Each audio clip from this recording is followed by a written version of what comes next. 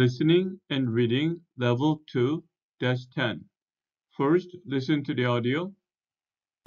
Charles found a glass bottle. He found the glass bottle in his backyard. It was a pretty glass bottle. It was dark green. He looked inside the dark green bottle. He couldn't see anything. He shook the bottle. Something came out of the bottle. It landed on the ground. It was a bug.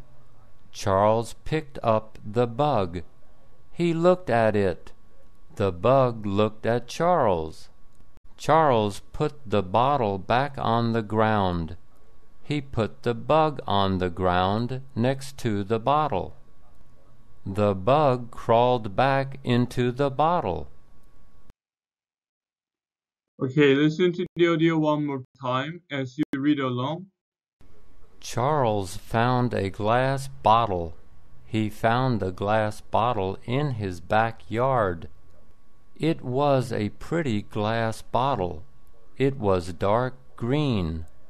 He looked inside the dark green bottle. He couldn't see anything. He shook the bottle. Something came out of the bottle.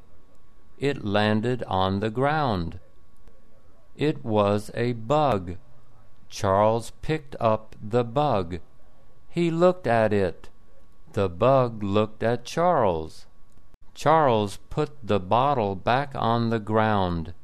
He put the bug on the ground next to the bottle. The bug crawled back into the bottle.